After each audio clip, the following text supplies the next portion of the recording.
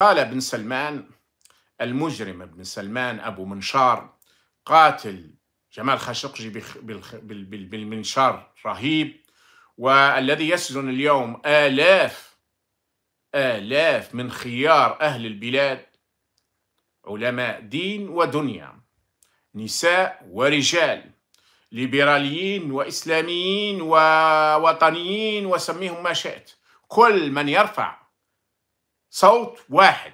أحيانا كلمة في تويتر أحيانا تعليق في تويتر أحيانا لايك في الفيسبوك أو في تويتر يؤدي به إلى عذاب نكرة وإلى سجون مدمرة.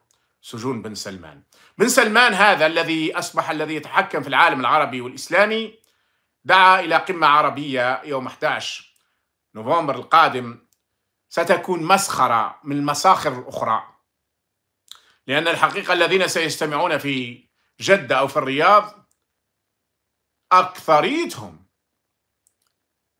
يتمنون هزيمة غزة. أكثريتهم يتمنون تدمير أي مقاومة. فهم أصلا يقومون بتدمير أي مقاومة في أوطانهم في الأوطان التي يحكمونها قهرا وقسرا وعذابا. إنما خوفهم من الشعوب إلى حد ما. بعض الدول تخاف من الشعوب سيلتقون هناك ستخرج قرارات لا معنى لها والكيان الإسرائيلي سيسمع بها قبل أي قبل حتى أن يراها بعض الرؤساء العرب. وأمريكا ستذهب إليها ما سينشر وما البيان الختامي قبل أن يروا حتى ال... الذين سيجتمعون في جدة. وأكثرهم طغاة وبغاة وقساة ومجرمين الذين سيجتمعون في جدة باسم أنهم حكومات الجامعة العربية. أما الذين سيجتمعون في يوم بعدهم في جدة أيضا على ما يبدو فيما يسمى بمؤتمر الإسلامي فأكثريتهم لا يقلون بشاعة على الأنظمة التي تسمى عربية. اللهم إلا على استثناءات قليلة قد تجد الأندونيسي أو الماليزي أو التركي أو الإيراني. وربما ثلاثة وأربعة هنا وهناك اللي سيقولون كلام. لكنه في النهاية كلام. لأن حتى التركي كلامه لحد الآن كلام. إلى درجة أن اليوم آه، الناطق باسم الجيش الإسرائيلي وكأنه فيه تهديد مبطن لتركيا قال أن قواتنا الجوية هي الأقوى في الشرق الأوسط وتستطيع أن تضرب أي كان في الشرق الأوسط.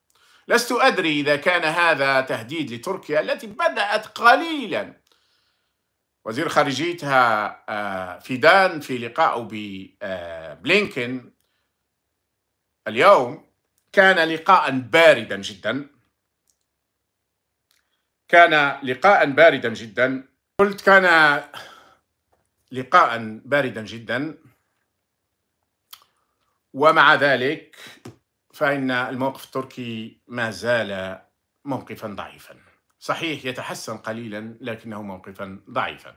الموقف الإيراني أيضا الذي عبر عنه وزير الخارجية اليوم وقال من أن أمريكا أبلغتنا من أنها ستوقف وأنها ستسعى إلى هدى وإلى وقف الحرب.